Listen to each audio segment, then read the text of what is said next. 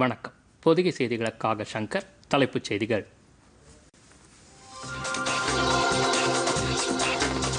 முதலமைச்சர் எடப்பாடி பழனிசாமியை தொலைபேசியில் தொடர்பு கொண்டு பேசிய பிரதமர் நரேந்திர மோடி கொரோனா தடுப்புப் பணிகள் சிகிச்சை விவரங்களை கேட்டறிந்தார்.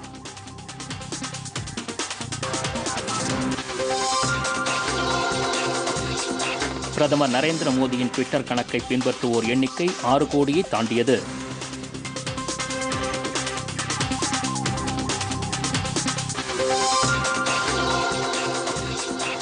நெருக்கடியான காலகட்டத்தில் வாழ்க்கையின் நம்பிக்கைக்குரிய குற்றாளியாக திகழும் ஊடகங்கள். குடியரசு துணைத் தலைவர் வெங்கையா நாயுடு பாராட்டு.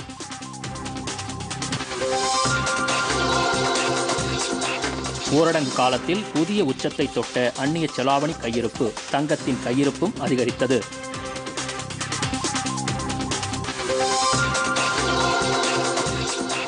தமிழ்நாட்டில் புதிதாக இன்று நான்காயிரத்து தொள்ளாயிரத்து எழுபத்து ஒன்பது பேருக்கு கொரோனா தொற்று உறுதி. நான்காயிரத்து ஐம்பத்து ஒன்பது பேர் குணமடைந்து வீடு திரும்பினர்.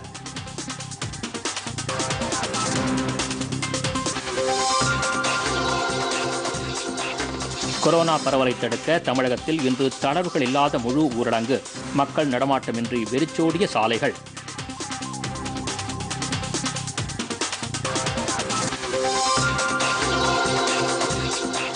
வட தமிழகம் மேற்கு தொடர்ச்சி மலையை ஒட்டிய மாவட்டங்களில் இடியுடன் கூடிய மழைக்கு வாய்ப்பு. சென்னையில் மிதமான மழை பெய்யக்கூடும் என தகவல்.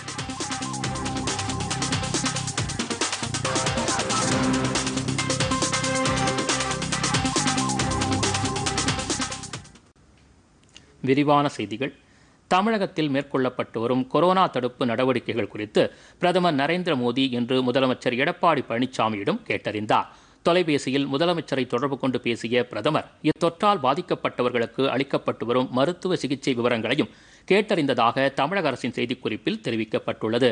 அப்போது இந்தியாவிலேயே அதிகபட்சமாக தமிழ்நாட்டில் தற்போது நாள் ஒன்றுக்கு நாற்பத்தி எட்டாயிரம் கொரோனா வைரஸ் பரிசோதனைகள் செய்யப்பட்டு வருவதாகவும் கொரோனா வைரஸ் பரவுவதை தடுப்பதற்கு மாநில அரசு முழுவீச்சில் நடவடிக்கை மேற்கொண்டு வருவதாகவும் தமிழ்நாட்டில் விரைவில் இயல்பு நிலை திரும்ப தேவையான அனைத்து முயற்சிகளையும் மாநில அரசு எடுத்து வருவதாக பிரதமரிடம் முதலமைச்சர் தெரிவித்ததாகவும் அரசு செய்திக்குறிப்பில் கூறப்பட்டுள்ளது. இதேபோன்று அசாம் முதலமைச்சர் சர்பானந்த சோனாவாலையும் தொலைபேசியில் தொடர்பு கொண்ட பிரதமர் அம்மாநிலத்தில் மேற்கொள்ளப்பட்டு வரும் கொரோனா தடுப்பு நடவடிக்கைகள் மழை வெள்ள நிலவரம் மற்றும் பக்ஜன் எண்ணெய் கிணறு தீ விபத்து போன்றவை குறித்தும் கேட்டறிந்தார். அத்துடன் அசாமில் வெள்ள நிலைமையை சமாளிக்க மாநில அரசுக்கு தேவையான அனைத்து உதவிகளையும் மத்திய அரசு வழங்கும் என்றும் பிரதமர் உறுதியளித்தார். சமூக ஊடகமான ட்விட்டரில் பிரதமர் நரேந்திர மோடியை பின்தொடர்பவர்களின் எண்ணிக்கை ஆறு கோடியை தாண்டியுள்ளது. மத்திய அரசின் செயல்பாடுகள் திட்டப்பணிகள் மற்றும் பொதுமக்களுக்கான நலத்திட்டங்களின் விவரங்கள் பிரதமர் நரேந்திர மோடியின் பேச்சுக்கள் சமூக ஊடகங்களான முகநூல் ட்விட்டர் இன்ஸ்டாகிராம் உள்ளிட்டவற்றில் உடனுக்குடன் வெளியிடப்பட்டு வருகிறது. இதனால் இந்தியா மட்டுமின்றி உலகம் முழுவதும் வசிக்கும் இந்தியர்களும் வெளிநாட்டவர்களும் பெருமளவில் இந்த வலைத்தளங்களை பின்பற்றி வருகின்றனர். இந்நிலையில் பிரதமர் நரேந்திர மோடியின் ட்விட்டர் பதிவை பின்தொடர்பவர்களின் எண்ணிக்கை இன்று பிற்பகல் இரண்டு மணி வரை ஆறு கோடியே முப்பத்தைந்தாயிரத்து தொள்ளாயிரத்து எழுபத்து ஆறாக அதிகரித்துள்ளது. பிரதமர் நரேந்திர மோடி இரண்டாயிரத்து முன்னூற்று ஐம்பத்து நான்கு பேரை ட்விட்டரில் பின்தொடர்வதாகவும் தெரிவிக்கப்பட்டுள்ளது. கொரோனா பெருந்தொற்றுக்கு எதிரான நடவடிக்கைகளில் பொதுமக்களுடன் இணைந்து பணியாற்றும் ஊடகங்களுக்கு குடியரசு துணைத் தலைவர் வெங்கையா நாயுடு பாராட்டு தெரிவித்துள்ளார். இதுகுறித்து அவர் தமது முகநூல் பக்கத்தில் ஊடகம் கொரோனா காலகட்டத்தில் நமது கூட்டாளி என்ற தலைப்பில் வெளியிட்டுள்ள பதிவில் கொரோனா தொற்று பரவலில் பல்வேறு அம்சங்கள் குறித்து மக்களுக்கு தேவையான தகவல் பகுப்பாய்வு மற்றும் சரியான கண்ணோட்டங்களை மக்களுக்கு வழங்கி ஊடகங்கள் அறிவுறுத்தி வருவதாக குறிப்பிட்டுள்ளார். மக்கள் துன்பத்திற்கு ஆளாகும் போது அதற்கான காரணம் மற்றும் அதன் விளைவுகள் பற்றி எடுத்துரைப்பதுடன் இந்த நிலை எவ்வளவு காலத்திற்கு நீடிக்கும் இதனை எதிர்கொள்வதற்கான வழிமுறைகள் என்ன என்பது பற்றிய தகவல்களை மக்களுக்கு வழங்கி அறிவுறுத்துவது ஊடகத்தின் பணியாக உள்ளது என்றும் தெரிவித்துள்ளார். கொரோனா தொற்று பரவிய காலத்திலிருந்தே ஊடகங்கள் மற்றும் ஊடகவியலாளர்களின் பணி பாராட்டத்தக்க வகையில் உள்ளதாகவும் அவர் கூறியுள்ளார். நெருக்கடியான காலகட்டத்தில் ஊடகங்கள் நமது வாழ்க்கையின் நம்பிக்கைக்குரிய கூட்டாளிகளாக இருப்பதாகவும் வெங்கையா நாயுடு குறிப்பிட்டுள்ளார். முகக்கவசம் அணிதல் சமூக இடைவெளியை கடைபிடித்தல் அடிக்கடி கைகளை சுத்தம் செய்தல் ஆரோக்கியமான உணவுகளை உட்கொள்வதுடன் தொடர்ந்து உடற்பயிற்சி செய்தல் ஆன்மீக ஈடுபாடு போன்ற தற்காப்பு நடவடிக்கைகளை மேற்கொள்ளச் செய்வதற்கு ஊடகங்கள் எடுத்து வரும் முயற்சிகளை அவர் சுட்டிக்காட்டியுள்ளார். இணையதள பயன்பாட்டாளர்கள் நோய் தொற்று மற்றும் சிகிச்சை குறித்த அதிகாரப்பூர்வ தகவல்களை பரிமாறிக்கொள்வதற்கு மட்டுமே சமூக ஊடகங்களை பயன்படுத்த வேண்டும் என்றும் தவறான பாதைக்கு வழிகாட்டும் பொய்ச் செய்திகளுக்கு இடமளிக்க வேண்டாம் எனவும் வெங்கையா நாயுடு கேட்டுக்கொண்டார் சென்னை உட்பட நாடு முழுவதும் உள்ள அறுபத்து மூன்று விமான நிலையங்களில் பயன்படுத்துவதற்காக இந்திய விமான நிலையங்கள் ஆணையம் நூற்று தொன்னூற்றி எட்டு முழு உடல் பரிசோதனை கருவிகளை வாங்க முடிவு செய்துள்ளது. விமான நிலையத்திற்கு வரும் பயணிகள் மற்றும் அவர்களது உடைமைகளை சுங்கத்துறையினர் மற்றும் மத்திய தொழிலக பாதுகாப்பு படையினர் தற்போது சோதனை செய்து வருகின்றனர். சில இடங்களில் நவீன எந்திரங்கள் மூலமும் பரிசோதிக்கப்படுகிறது. இந்நிலையில் இந்திய விமான நிலையங்கள் ஆணையம் தனது கட்டுப்பாட்டில் உள்ள விமான நிலையங்களுக்கு வருவோரை பரிசோதிப்பதற்காக நூற்று தொன்னூற்றி எட்டு முழு உடல் பரிசோதனை கருவிகளை வாங்க முடிவு செய்துள்ளது. இவற்றில் பத்தொன்பது கருவிகள் சென்னை விமான நிலையத்திற்கு வழங்கப்பட உள்ளதாக அந்த ஆணையத்தின் அதிகாரிகள் தெரிவித்துள்ளனர். இதேபோன்று கொல்கத்தா விமான நிலையத்திற்கு பதினேழு கருவிகளும் புனே விமான நிலையத்திற்கு பன்னிரண்டு கருவிகளும் ஸ்ரீநகருக்கு ஏழு கருவிகளும் விசாகப்பட்டினத்திற்கு ஆறு கருவிகளும் வழங்கப்பட உள்ளது. திருப்பதி கோவா புவனேஸ்வர் இம்பால் விமான நிலையங்களுக்கு தலா ஐந்து கருவிகள் வழங்கப்படும் என தெரிவிக்கப்பட்டுள்ளது. கோவை திருச்சி வாரணாசி அமிர்தசரஸ் கயா கோழிக்கோடு போபால் மற்றும் அவுரங்காபாத் விமான நிலையங்களுக்கு தலா நான்கு கருவிகள் வழங்கப்பட இருப்பதாகவும் இதற்கான தொழில்நுட்ப ஒப்பந்த புள்ளிகள் கோரப்பட்டுள்ளதாகவும் அதிகாரிகள் தெரிவித்துள்ளனர். இந்த கருவிகள் பயன்படுத்தப்படும் போது பயணிகள் தாங்கள் அணிந்திருக்கும் தடிமனான உடைகள் காலணிகள் பெல்ட் மற்றும் உலோகப் பொருட்களை உடலிலிருந்து அகற்றிவிட வேண்டும். பின்னர் இந்த கருவி முன்பாக வரும்போது அதில் மஞ்சள் விளக்கு எரிந்தால் சம்பந்தப்பட்ட பயணி அடுத்த கட்ட பரிசோதனைக்கு உட்படுத்தப்படுவார். அத்துடன் தற்போது பயணிகளின் உடலை தொட்டு பரிசோதிக்கும் நடைமுறையும் அகற்றப்படும் என அதிகாரிகள் தெரிவித்துள்ளனர். இரண்டாயிரத்து இருபத்தி மூன்றாம் ஆண்டு மார்ச் மாதம் முதல் நாட்டில் தனியார் ரயில்கள் இயங்கத் தொடங்கும் என ரயில்வே அமைச்சகம் தெரிவித்துள்ளது. தனியார் ரயில்கள் இரண்டாயிரத்து இருபத்தி நான்காம் ஆண்டு முதல் இயங்கத் தொடங்கும் என சில ஊடகங்களில் வெளியான செய்திக்கு விளக்கம் அளித்த ரயில்வே அமைச்சகம் வெளியிட்டுள்ள செய்திக்குறிப்பில் இதற்கான டெண்டர் நடவடிக்கைகள் அடுத்த ஆண்டு மார்ச் மாதத்திற்குள் முடிக்கப்படும் என கூறப்பட்டுள்ளது. அதன் பிறகு பிற ஒப்புதல்கள் பெறப்பட்டவுடன் இரண்டாயிரத்து இருபத்தி மூன்றாம் ஆண்டு மார்ச் மாதம் முதல் தனியார் ரயில்களை இயக்க திட்டமிட்டுள்ளதாகவும் தெரிவிக்கப்பட்டுள்ளது. இந்தியா சீனா இடையே பதற்றமான சூழல் நிலவும் வேளையில் இருநாட்டு விமானப்படை கமாண்டர்களின் ஆலோசனைக் கூட்டம் வரும் இருபத்தி இரண்டாம் தேதி தொடங்குகிறது. இதில் லடாக் எல்லை நிலவரம் குறித்தும் ரஃபேல் போர் விமானங்களுக்கான படைப்பிரிவை அமைப்பது குறித்தும் ஆலோசிக்கப்பட உள்ளது. கிழக்கு லடாக் எல்லையில் உள்ள கல்வான் பள்ளத்தாக்கு உள்ளிட்ட பகுதிகளில் இந்திய சீன ராணுவத்தினரிடையே கடந்த மாதம் மோதல் ஏற்பட்டது. இதையடுத்து இந்தியா சீனா இடையே பதற்றமான சூழல் நிலவியது. விமானப்படை தனது Mirage two thousand Sukhoi MiG twenty nine ரக போர் விமானங்களை லடாக் எல்லைப்பகுதி அருகே உள்ள விமானப்படை தளங்களுக்கு அனுப்பி கண்காணிக்கும் பணியில் ஈடுபட்டது. அப்பாச்சி ரக ஹெலிகாப்டர்களும் லடாக் எல்லைப்பகுதியில் ரோந்து பணியில் ஈடுபட்டன. இந்நிலையில் விமானப்படை கமாண்டர்களின் ஆலோசனைக் கூட்டம் தில்லியில் வரும் இருபத்தி இரண்டாம் தேதி முதல் இரண்டு நாட்களுக்கு நடைபெற உள்ளது இந்த மாநாட்டிற்கு விமானப்படை தளபதி ஏர் சீஃப் மார்ஷல் பதூரியா தலைமை தாங்குகிறார். விமானப்படையின் ஏழு தலைமை கமாண்டர்களும் இந்த ஆலோசனைக் கூட்டத்தில் கலந்து கொள்கின்றனர். இதில் இந்திய சீன எல்லை நிலவரம் குறித்து ஆலோசிக்கப்பட உள்ளது. பிரான்சிடமிருந்து வாங்கும் ரஃபேல் போர் விமானங்கள் இந்த மாத இறுதியில் இந்தியா வரவுள்ளன. எனவே ரஃபேல் போர் விமானங்களின் படைப்பிரிவை எங்கு அமைப்பது என்பது குறித்தும் இந்த கூட்டத்தில் ஆலோசிக்கப்பட உள்ளது. கட்சித்தாவல் நடவடிக்கையில் ஈடுபடுவோர் ஐந்து ஆண்டுகளுக்கு அரசு பதவி வகிக்க தடை விதிக்கும் வகையில் கட்சித்தாவல் தடை சட்டத்தில் திருத்தம் செய்யப்பட வேண்டும் என காங்கிரஸ் கட்சி வலியுறுத்தியுள்ளது. அக்கட்சியின் ஆட்சி நடைபெறும் ராஜஸ்தான் மாநிலத்தில் காங்கிரஸ் அரசுக்கு எதிராக போர்க்கொடி தூக்கிய துணை முதலமைச்சர் சச்சின் பைலட் மற்றும் ஆதரவு சட்டமன்ற உறுப்பினர்கள் மீது கட்சித்தாவல் தடை சட்டத்தின் கீழ் நடவடிக்கை எடுப்பது தொடர்பாக நோட்டீஸ் அனுப்பப்பட்டுள்ளது. இந்நிலையில் காங்கிரஸ் மூத்த தலைவரும் முன்னாள் மத்திய சட்ட அமைச்சருமான கபில் சிபில் வெளியிட்டுள்ள ட்விட்டர் பதிவில் ஒரு கட்சி சார்பில் போட்டியிட்டு நாடாளுமன்ற சட்டமன்ற உறுப்பினர்களாக தேர்வு செய்யப்பட்டவர்கள் அந்த பதவிக்காலம் முடிவடைவதற்கு முன்பாகவே கட்சி தாவினார். அவர்கள் அடுத்த தேர்தலில் போட்டியிடவும் ஐந்தாண்டுகளுக்கு எந்த ஒரு அரசு பதவியை வகிக்கவும் தடை விதிக்கும் வகையில் சட்ட திருத்தம் மேற்கொள்ளப்பட வேண்டும் எனவும் வலியுறுத்தியுள்ளார்.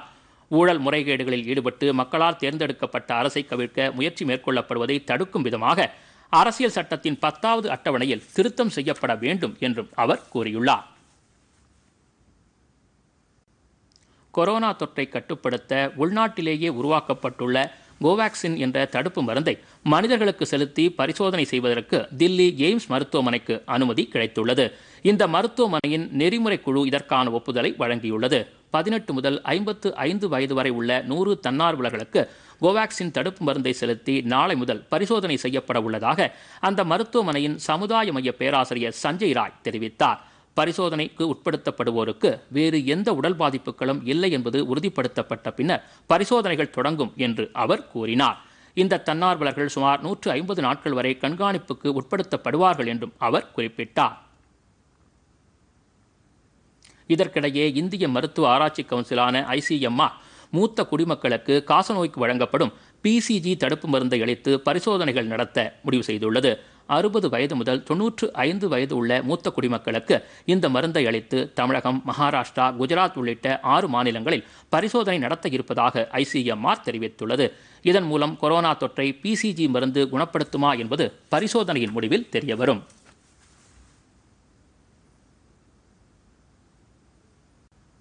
காஷ்மீரைச் சேர்ந்த ஒரு குழந்தை உட்பட மூன்று பேர் பாகிஸ்தான் ராணுவத்தினரால் கொல்லப்பட்ட சம்பவத்திற்கு இந்திய வெளியுறவுத்துறை கடும் கண்டனம் தெரிவித்துள்ளது. இது தொடர்பாக தில்லியில் உள்ள பாகிஸ்தான் தூதரகத்தின் பொறுப்பு அதிகாரி சையத் ஹைதர் ஷாவை வெளியுறவு அமைச்சகம் நேரில் அழைத்து இந்தியாவின் எதிர்ப்பை பதிவு செய்தது. கடந்த வெள்ளிக்கிழமை இரவு ஜம்மு காஷ்மீரின் கிருஷ்ணாகட்டி என்ற இடத்தில் சண்டை நிறுத்த ஒப்பந்தத்தை மீறி பாகிஸ்தான் படையினர் நடத்திய தாக்குதலில் ஒரே குடும்பத்தைச் சேர்ந்த மூன்று பேர் உயிரிழந்தனர். இந்த சம்பவத்திற்கு கண்டனம் தெரிவித்துள்ள இந்தியா பாகிஸ்தான் படையினரால் அப்பாவி பொதுமக்கள் கொல்லப்படுவது கண்டிக்கத்தக்கது என்று குறிப்பிட்டுள்ளது. இந்த ஆண்டில் மட்டும் இதுவரை பாகிஸ்தான் ராணுவத்தினரால் இருபத்தோரு இந்தியர்கள் கொல்லப்பட்டுள்ளனர். தொன்னூற்று நான்கு பேர் காயமடைந்துள்ளனர். பாகிஸ்தான் ராணுவத்தினர் இரண்டாயிரத்து எழுநூற்று பதினோரு அத்துமீறல் சம்பவங்களில் ஈடுபட்டதாக வெளியுறவுத்துறை தெரிவித்துள்ளது. மேலும் இந்தியாவுக்குள் எல்லை தாண்டி ஊடுருவும் தீவிரவாதிகளுக்கு பாகிஸ்தான் தொடர்ந்து ஆதரவு அளித்து வருவதற்கும் மத்திய அரசு எதிர்ப்பு தெரிவித்துள்ளது. இரண்டாயிரத்து மூன்றாம் ஆண்டு செய்து கொள்ளப்பட்ட சண்டை நிறுத்த ஒப்பந்தத்தை பாகிஸ்தான் உறுதியுடன் கடைபிடித்து எல்லை கட்டுப்பாட்டு கோட்டுப் பகுதியில் அமைதியை பராமரிக்க வேண்டும் எனவும் வெளியுறவு அமைச்சகம் வலியுறுத்தியுள்ளது. நாட்டின் அந்நிய செலாவணி கையிருப்பு வரலாறு காணாத உச்சத்தை தொட்டுள்ளதாக ரிசர்வ் வங்கி தெரிவித்துள்ளது. நாட்டின் அந்நிய செலாவணி கையிருப்பு ஜூலை பத்தாம் தேதியுடன் நிறைவடைந்த வாரத்தில் முன்னூற்று பதினோரு கோடி டாலர் அதிகரித்து ஐம்பத்தோராயிரத்து அறுநூற்று முப்பத்தாறு கோடி டாலரை தொட்டது என ரிசர்வ் வங்கி புள்ளி விவரம் தெரிவிக்கிறது. இது வரலாறு காணாத புதிய உச்சம் என ரிசர்வ் வங்கி கூறியுள்ளது. இதற்கு முன் ஜூலை மூன்றாம் தேதியுடன் முடிவடைந்த வாரத்தில் அறுநூற்று நாற்பத்தி இரண்டு கோடி டாலர் உயர்ந்து ஐம்பத்தோராயிரத்து முன்னூற்று ஐம்பத்து நான்கு கோடி டாலராக காணப்பட்டது. மதிப்பீட்டு வாரத்தில் அந்நிய செலாவணி சொத்து மதிப்பு இருநூற்று முப்பத்தி ஏழு கோடி டாலர் உயர்ந்து நாற்பத்தேழாயிரத்து ஐநூற்று அறுபத்து மூன்று கோடி டாலரை எட்டியது. தங்கத்தின் கையிருப்பு எழுபத்து ஒன்று புள்ளி இரண்டு கோடி டாலர் அதிகரித்து மூவாயிரத்து நான்கு நானூற்று எழுபத்து மூன்று கோடி டாலராக உயர்ந்துள்ளது. சர்வதேச நிதியத்தில் எஸ்டிஆர் இருப்பு ஐம்பது லட்சம் டாலர் உயர்ந்து நூற்று நாற்பத்தைந்து கோடி டாலராகவும் கையிருப்பு நிலை ஒன்று புள்ளி ஒன்பது கோடி டாலர் அதிகரித்து நானூற்று ஐம்பத்து நான்கு கோடி டாலராகவும் இருந்தது என ரிசர்வ் வங்கி தெரிவித்துள்ளது. இந்தியாவில் ஒரே நாளில் முப்பத்தி எட்டாயிரத்து தொள்ளாயிரத்து இரண்டு பேருக்கு கொரோனா தொற்று உறுதி செய்யப்பட்டுள்ளது. இவர்களையும் சேர்த்து இதுவரை நாடு முழுவதும் கொரோனா நோய் தொற்றால் பாதிக்கப்பட்டவர்களின் எண்ணிக்கை பத்து லட்சத்து எழுபத்தி ஏழாயிரத்து அறுநூற்று பதினெட்டாக அதிகரித்துள்ளது என மத்திய சுகாதாரத்துறை அமைச்சகம் தெரிவித்துள்ளது. இதுவரை இருபத்து ஆறாயிரத்து எண்ணூற்று பதினாறு பேர் நோய் தொற்று காரணமாக உயிரிழந்துள்ள நிலையில் ஆறு லட்சத்து எழுபத்தி ஏழாயிரத்து நானூற்று இருபத்து மூன்று பேர் நோய் தொற்றிலிருந்து குணமடைந்துள்ளனர். சர்வதேச அளவில் ஒரு கோடியே நாற்பத்து நான்கு லட்சத்து அறுபதாயிரத்து ஐநூற்று ஐம்பத்து நான்கு பேர் பாதிக்கப்பட்டு ஆறு லட்சத்து ஐந்தாயிரத்து எழுநூற்று முப்பத்து ஐந்து பேர் உயிரிழந்துள்ளனர்.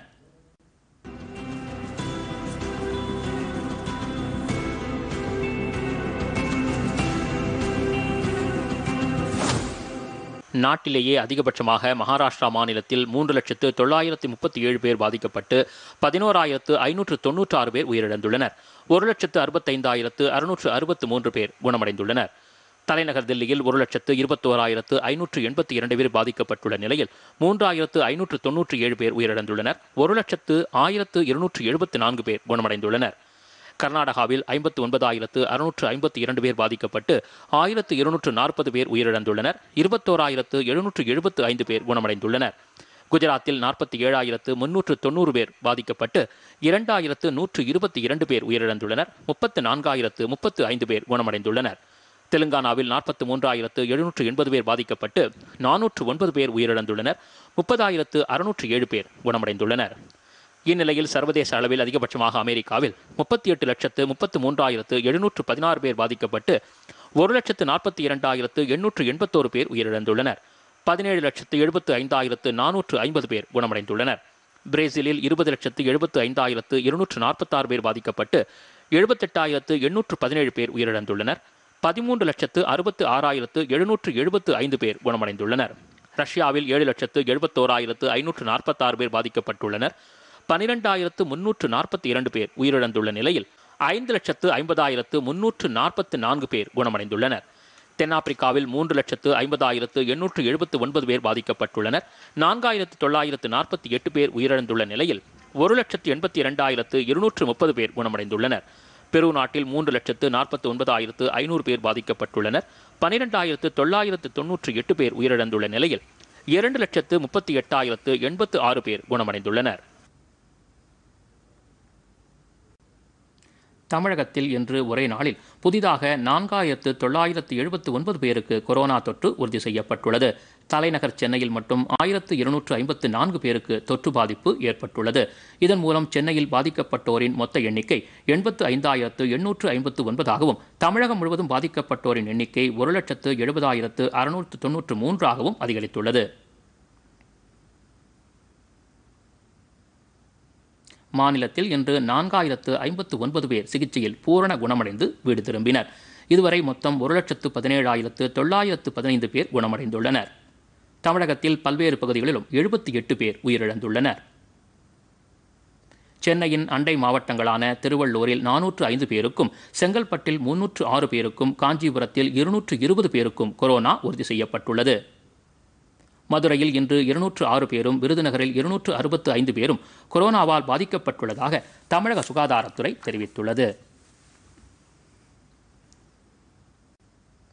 கொரோனா தொற்று பரவல் தடுப்பு நடவடிக்கையின் ஒரு பகுதியாக இன்று தமிழகம் முழுவதும் தளர்வுகள் இல்லாத முழு ஊரடங்கு கடைபிடிக்கப்படுகிறது. இந்த முழு ஊரடங்கு நள்ளிரவு பனிரெண்டு மணி முதல் நாளை காலை ஆறு மணி வரை எவ்வித தளர்வுமின்றி கடைபிடிக்கப்படும் என தமிழக அரசு ஏற்கனவே அறிவித்துள்ளது.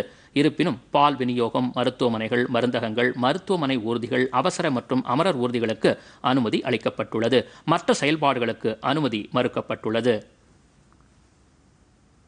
சென்னையை பொறுத்தவரை முழு ஊரடங்கை நடைமுறைப்படுத்த மாநகரம் முழுவதும் நூற்று தொன்னூற்று மூன்று சோதனைச் சாவடிகள் அமைக்கப்பட்டு தீவிர வாகன சோதனையில் காவல்துறையினர் ஈடுபட்டுள்ளனர். பொதுமக்கள் அவசியமின்றி வீட்டை விட்டு வெளியில் வருவதையும் பொது இடங்களில் தேவையின்றி கூட்டம் கூடுவதையும் தவிர்க்க வேண்டும் என்றும் சென்னை பெருநகர போக்குவரத்து காவல்துறை எச்சரிக்கை விடுத்துள்ளது. அவசர மருத்துவ தேவைகளுக்கு மட்டுமே தனியார் வாகனங்கள் அனுமதிக்கப்படும் என்றும் விதிமீறல்களில் ஈடுபடுவோர் மீது தகுந்த நடவடிக்கை எடுக்கப்பட்டு வாகனங்கள் பறிமுதல் செய்யப்படும் என்றும் தெரிவிக்கப்பட்டுள்ளது.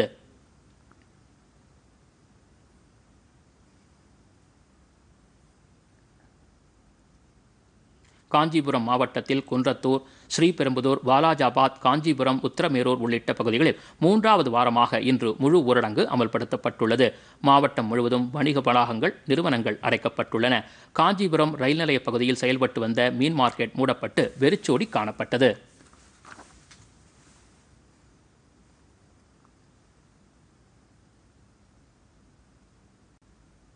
கோவையில் நேற்று மூன்று கோவில்கள் சேதப்படுத்தப்பட்டதற்கு எதிர்க்கட்சித் தலைவர்கள் கண்டனம் தெரிவித்துள்ளனர்.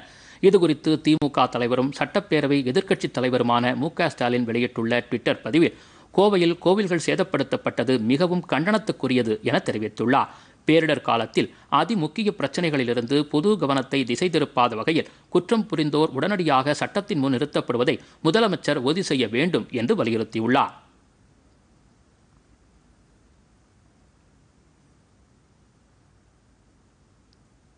தமிழ்நாடு காங்கிரஸ் கட்சித் தலைவர் கே எஸ் அழகிரி வெளியிட்டுள்ள அறிக்கையில் கோவில்கள் சேதப்படுத்தப்படுவது போன்ற நடவடிக்கைகள் மூலம் மக்கள் உணர்வுகளை புண்படுத்துகிற நடவடிக்கைகளில் ஈடுபடும் சமூக விரோதிகளை தமிழக அரசு இரும்பு கரம் கொண்டு ஒடுக்குமாறு கேட்டுக்கொண்டுள்ளார்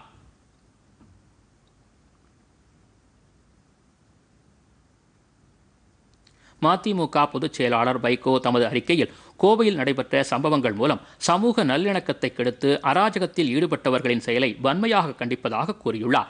வன்முறையாளர்களை காவல்துறை கைது செய்து சட்டப்படி நடவடிக்கை எடுக்க வேண்டும் என்று அவர் குறிப்பிட்டுள்ளார்.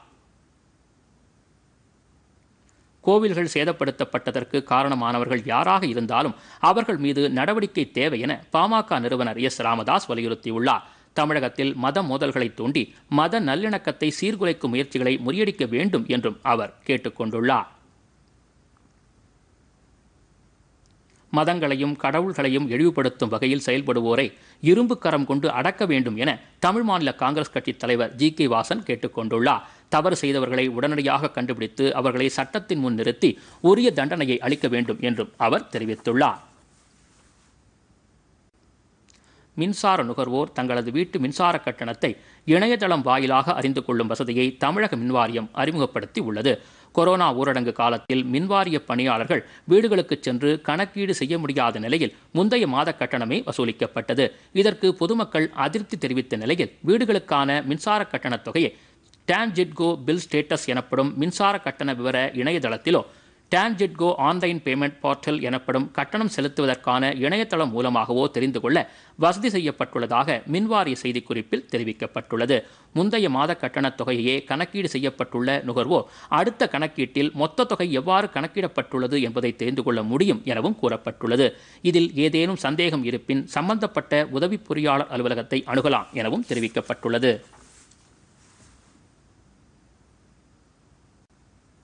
கொரோனா ஊரடங்கு காலத்தில் மத்திய அரசு கொண்டு வந்த திட்டங்களை வேலூர் மாவட்டத்தில் உள்ள முன்னாள் சுதந்திர போராட்ட தியாகிகளின் குடும்பத்தினர் வரவேற்றுள்ளனர்.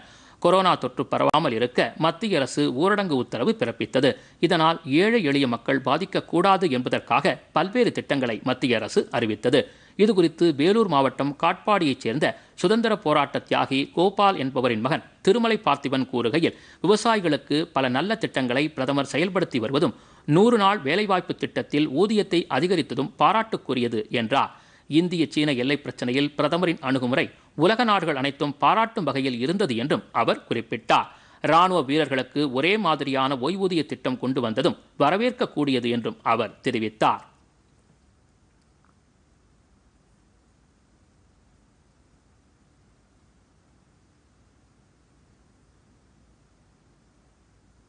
இருக்கும் நிலையில் கொரோனா பீரியடில் மத்திய கவர்மெண்ட் நல்ல நிலையில் மக்களுக்கு தேவையானவற்றையெல்லாம் செய்து கொண்டு இருக்கிறது அரிசி நவம்பர் மாதம் வரை இலவசமாக வழங்குவதற்கும் பா- பாரத பிரதமர் அறிவித்திருக்கிறார். நூறு நாள் திட்டத்தில் மக்கள் கூலி உயர்வை ஏற்றி கொடுத்ததற்கும் நன்றி தெரிவித்துக் கொள்கிறோம். ஜவஹர்லால் என்பவர் கூறுகையில் கொரோனா ஊரடங்கு காலத்தில் மக்களுக்கு தேவையானவற்றை மத்திய அரசு செய்து கொண்டிருக்கிறது. ரேஷன் கடைகளில் நவம்பர் மாதம் வரை இலவசமாக அரிசி வழங்குவதற்கும் பிரதமர் உத்தரவிட்டுள்ளது பாராட்டுக்குரியது என்றார். சிறு தொழில்களுக்காக மூன்று லட்சம் கோடி ரூபாய் ஒதுக்கியதும் பயனளிக்கக்கூடியது என்று குறிப்பிட்டார்.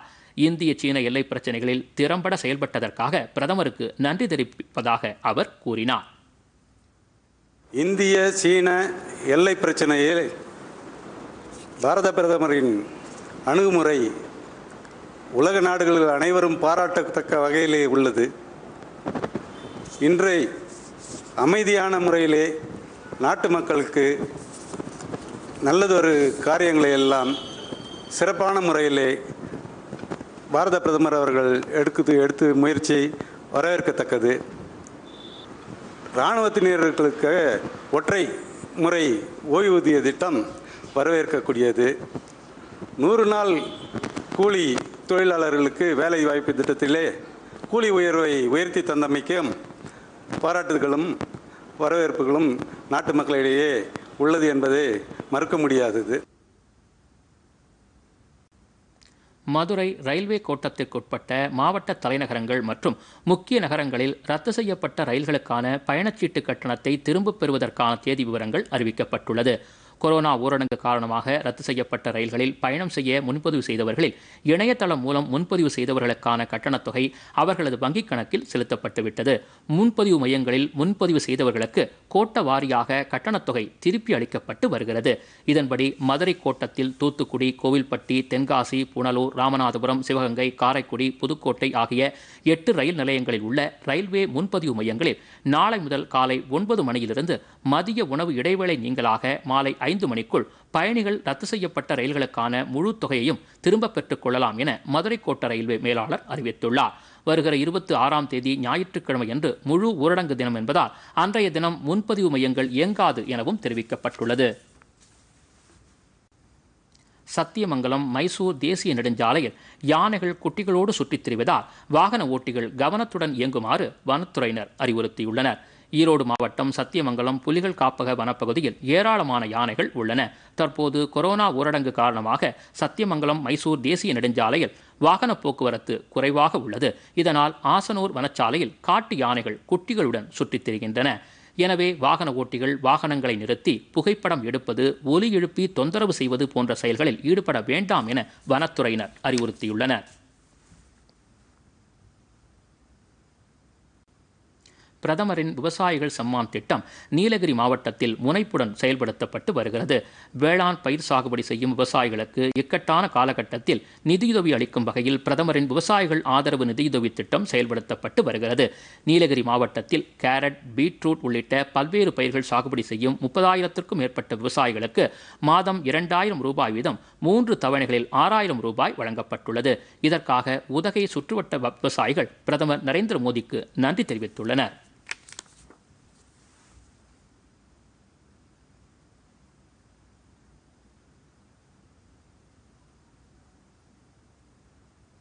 பாரத பிரதமரின் கிசான் திட்டத்தின் மூலமாக மூணு தடவை ரவ்வண்டாயிரம் ஆறாயிரம் பெற்றுக்கொண்டேன்.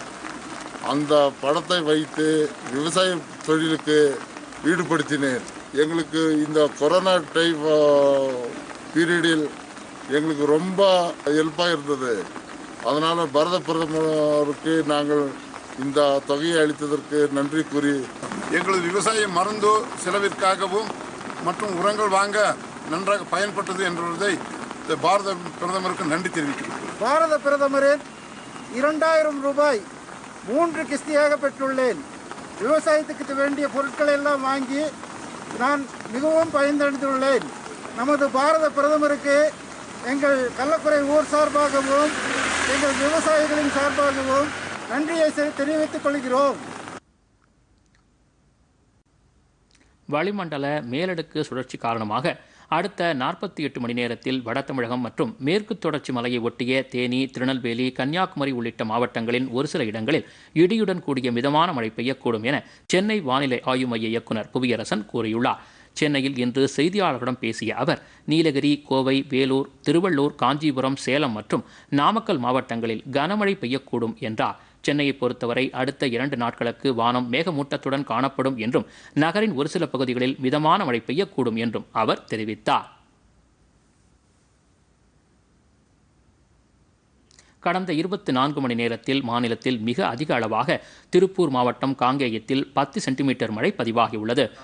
வட தமிழகம் புதுவை காரைக்கால் மேற்கு தொடர்ச்சி மலையை ஒட்டிய மாவட்டங்கள் மற்றும் தேனி நெல்லை கன்னியாகுமரி மாவட்டங்களில் ஓரிரு இடங்களில் இடியுடன் கூடிய லேசான முதல் மிதமான மழையும். அடுத்த இருபத்தி நான்கு மணி நேரத்திற்கு நீலகிரி கோவை வேலூர் திருவள்ளூர் காஞ்சிபுரம் சேலம் மற்றும் நாமக்கல் மாவட்டங்களில் ஓரிரு இடங்களில் இடியுடன் கூடிய கனமழை பெய்யக்கூடும். நாளை மேற்கு தொடர்ச்சி மலையொட்டிய மாவட்டங்களில் ஓரிரு இடங்களில் இடியுடன் கூடிய கனமழை தொடரும். சென்னை மற்றும் புறநகர் பகுதிகளில் அடுத்த இரண்டு நாட்களுக்கு வானம் பொதுவாக மேகம் மூட்டத்துடனும் நகரின் ஒரு சில பகுதிகளில் லேசானது முதல் மிதமான மழையும் அதிகபட்ச வெப்பநிலை முப்பத்தி ரெண்டு டிகிரி செல்சியஸ் குறைந்தபட்சம் இருபத்தி ஏழு டிகிரி செல்சியஸ் ஒட்டி இருக்கும். கடந்த இருபத்தி நான்கு மணி நேரத்தில் திருப்பூர் அரவக்குறிச்சியில் எட்டு சென்டிமீட்டர் மழையும் வால்பாறை உதகையில் தலா ஏழு சென்டிமீட்டர் அளவுக்கும் மழை பெய்துள்ளது. குமரிக்கடல் மற்றும் அரபிக்கடல் பகுதிகளில் சூறாவளி காற்று வீசக்கூடும் என்பதால் மீனவர்கள் கடலுக்கு செல்ல வேண்டாம் எனவும் அறிவுறுத்தப்பட்டுள்ளது. மீண்டும் தலைப்புச் செய்திகள். முதலமைச்சர் எடப்பாடி பழனிசாமியை தொலைபேசியில் தொடர்பு கொண்டு பேசிய பிரதமர் நரேந்திர மோடி. கொரோனா தடுப்புப் பணிகள் சிகிச்சை விவரங்களை கேட்டறிந்தார்.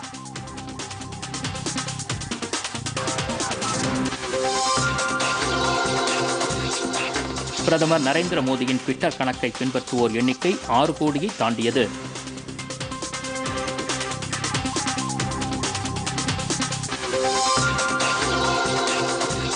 நெருக்கடியான காலகட்டத்தில் வாழ்க்கையின் நம்பிக்கைக்குரிய குற்றாளியாக திகழும் ஊடகங்கள். குடியரசு துணைத் தலைவர் வெங்கையா நாயுடு பாராட்டு.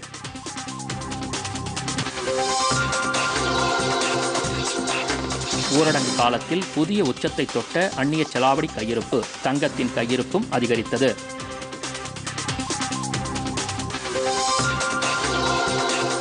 தமிழ்நாட்டில் புதிதாக இன்று நான்காயிரத்து தொள்ளாயிரத்து எழுபத்து ஒன்பது பேருக்கு கொரோனா தொற்று உறுதி.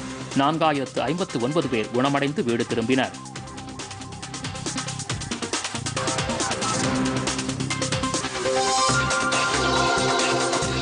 கொரோனா பரவலை தடுக்க தமிழகத்தில் இன்று தளர்வுகள் இல்லாத முழு ஊரடங்கு. மக்கள் நடமாட்டமின்றி வெறிச்சோடிய சாலைகள்.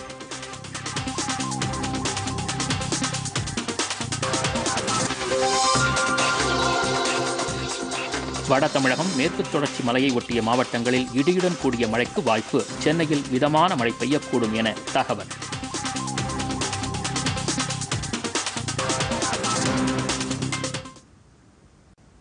இத்துடன் இந்த செய்தி அறிக்கை நிறைவு பெற்றது. வணக்கம்.